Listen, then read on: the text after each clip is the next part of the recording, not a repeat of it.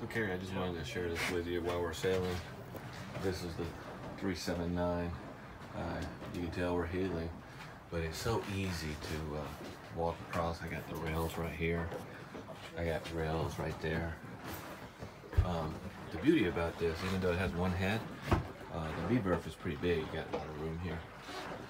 And you have something hanging closet right there as well. Um, plenty of room in the saloon.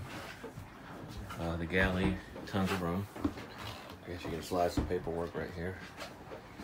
Um, I love this uh, trash can. Stove, LP, switch. Uh, here's the gimbal uh, for the stove. Show you a drawer. Um,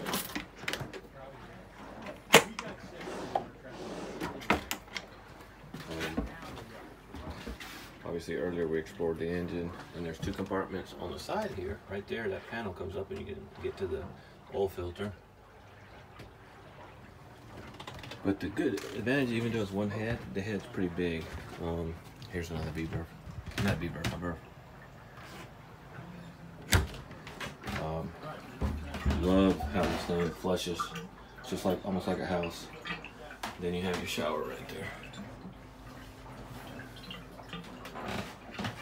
anyway, it's uh, it's gorgeous. All right, Marie.